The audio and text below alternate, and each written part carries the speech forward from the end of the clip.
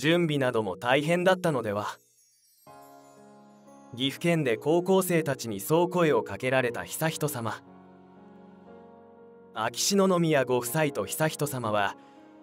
第48回全国高校総合文化祭の総合開会式などに臨席するために7月31日から1泊2日で岐阜県を訪問されました。皇室担当記者はこう語ります。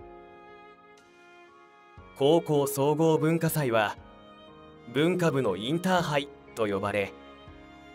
秋篠宮ご夫妻が臨席を重ねられてきました。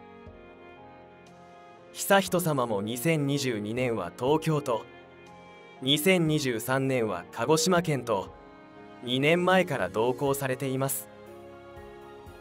総文祭での高校生たちとの現場交流も3度目となり今回は悠仁さまも以前より笑顔をお見せになられていました。総合開会式では参加した生徒たちが岐阜県の郡上踊りなどさまざまなパフォーマンスを披露。式典後の懇談で悠仁さまが準備の苦労をねぎらわれる場面もありました。またご公務にまだお慣れでない悠仁さまをお席に誘導されたり受け答えを見守られたりと紀子さまがお振る舞いをご指導されているご様子もしばしば見受けられました。2日目の8月1日には岐阜市内にある岐阜県美術館で高校生たちの美術作品などをご鑑賞。沖縄県出身の高校3年生が制作した陶器について説明を受けられた際悠仁さまは表面がすべすべですよね。それはどんな技術が？などと質問されていました。悠仁さまは高校生たちとの交流に真摯に臨まれていましたがネット上では残念ながら批判の声も少なからず上がっています。受験生は今の時期寝る間も惜しんで勉強しているのでは受験生を公務に連れて行かれるのはいかがなものでしょうか。などと受験生の悠仁さまが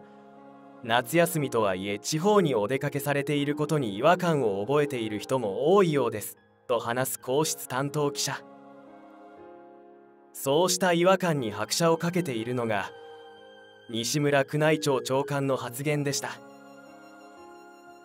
7月18日の定例記者会見で悠仁さまが来春に執り行われる成年式の前に園遊会に出席される可能性があると言及したのです。秋の園遊会が開催されるのは例年10月下旬から11月上旬頃です。18歳高校生での園遊会ご出席は話題を集めることは間違いないでしょうがもちろん大学受験にとって重要な時期であり宮内庁内でもなぜ園遊会デビューを急がれるのかという疑問を呈する職員もいます。ある宮内庁関係者はこうした一連の動きの陰には秋篠宮さまと紀子さまのご憂慮が隠されていると指摘します。9月6日悠仁さまが18歳の誕生日を迎え成年皇族となられることでそのご待遇も変わります。その一つが悠仁さまに支給される皇族費の増額なのです。皇族費について元宮内庁職員で皇室解説者の山下さんはこう語ります。皇族費は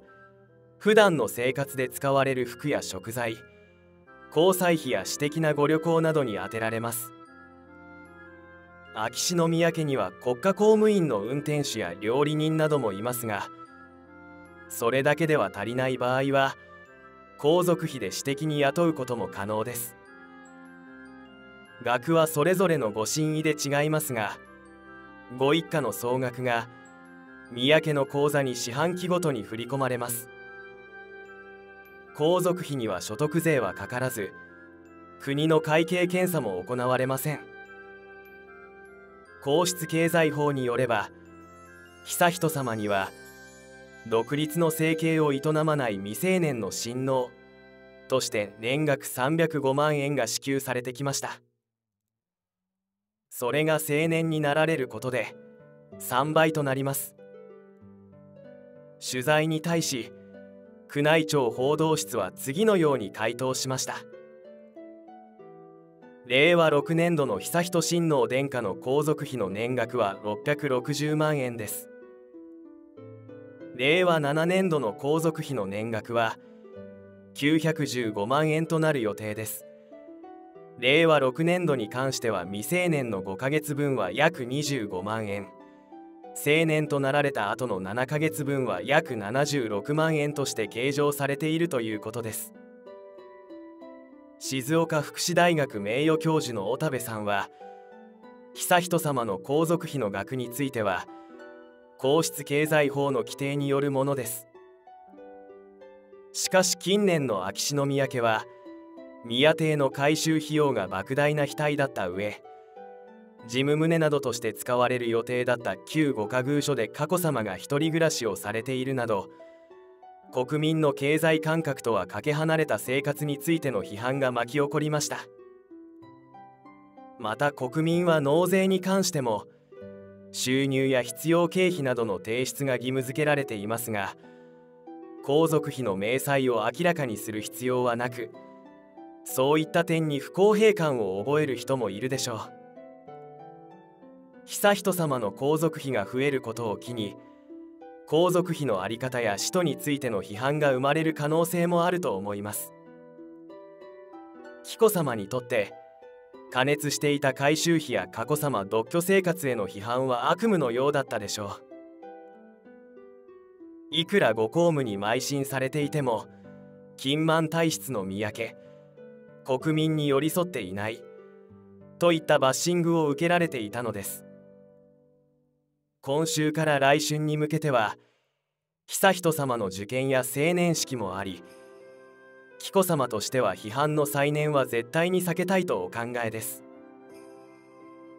公務もほとんどしていないのに年収900万円なのか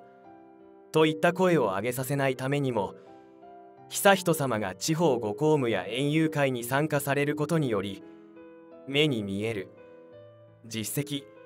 を示されたいということなのでしょう。と宮内庁関係者は語ります。受験生としてそして皇族として悠仁さまの奮闘の日々は続きます。